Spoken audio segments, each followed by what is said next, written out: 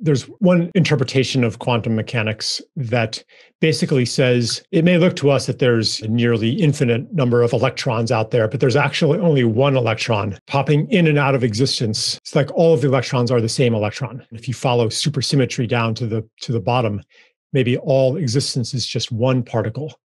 So by the same token, we might understand each of ourselves as attention looking out onto the world from a different shifting locus in the matrix of relationships. And then the question is well, how is my attention any different from your attention? Ultimately, it's the same attention. Perhaps you could consider that our only real agency and choice is the choice of what to pay attention to.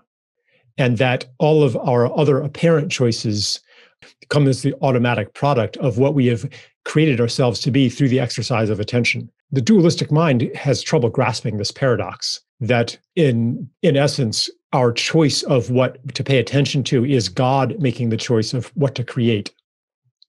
So my agency is not separate from your agency or from God's agency.